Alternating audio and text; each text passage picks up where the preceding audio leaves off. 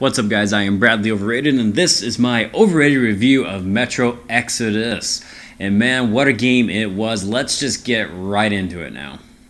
And it starts by saying, right now, I'm not going to go into the previous two installments of the Metro series. I'm just going to talk about this one.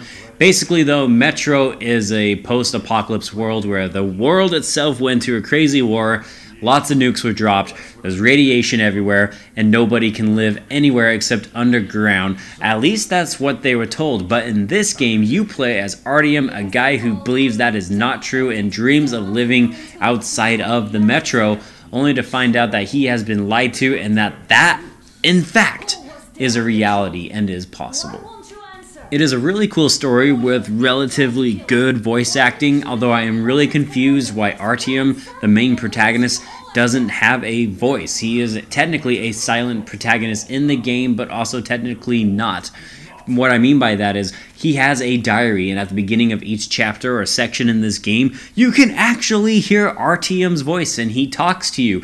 And I don't understand why he will talk to you and you can hear his voice in the diary sections, but you can't hear it in the game. It seems just out of place because that makes him technically not a silent protagonist. And then if you've played any of the Metro games before, this game is very similar to that with a few differences. One of the big ones is there are sections in the game itself that are more semi-open as compared to the more linear progression of the previous Metro games, but that is awesome. I actually love this new game flow. You still get your linear progression sections, but at the same time, you have a change of pace with these semi open worlds, and the environments themselves are breathtaking. Keanu Reeves style breathtaking that just make you want to experience this world as a whole. As a matter of fact, there is a photo mode that allows you to capture the scenery around you, and man, did I abuse the crap out of that. I'm talking 40 to 50 screenshots of just the environments. They are awesome. I really appreciate the art style here. It's one of the best things about Metro Exodus. And the core gameplay, if you're a Metro fan, is still there. You still have the options of going balls to the wall with bullets or trying to sneak around your opponents and go for the stealthier approach. And in case you were wondering, also there's definitely a karma factor. There are two endings in this game, and based upon your decisions and your actions in the game will influence the outcome and the end result in typical Metro fashion. I love it.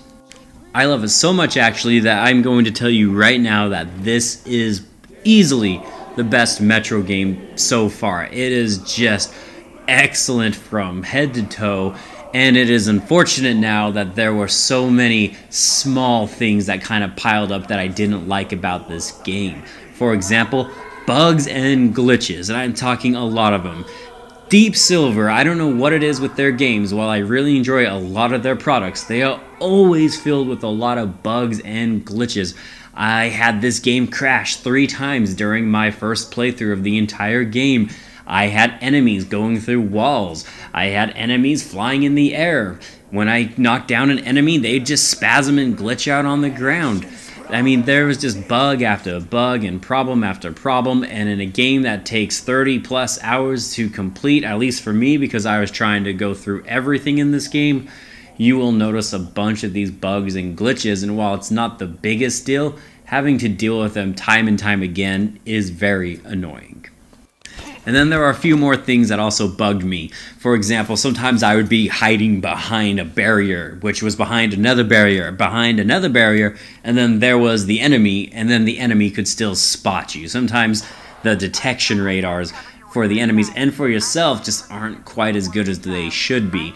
Also, sometimes the pacing just feels a little bit off, and there are a few moments, for example, you're on a train called the Aurora, and just sitting there, and they're all talking and all this stuff, and then the guy starts playing guitar, and then more talking, and then another incident happens, and then you start playing guitar, and sometimes I just want to get on with the game, and sometimes I'm spending 10 to 15 minutes just waiting for the plot to finish up.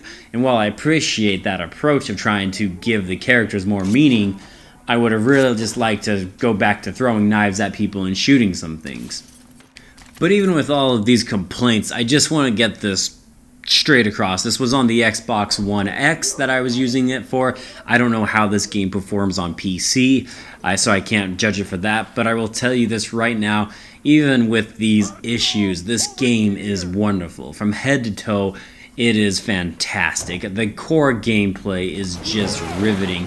You never know what to expect in this game. They throw everything at you, and that is why I am happy to still give Metro Exodus an A minus, and I was going to give it a B plus, but it was just so good. It's so good, as a matter of fact, that I am going right back in. I'm going to replay the entire game over just because of how excellent it is. So it gets an A minus from me.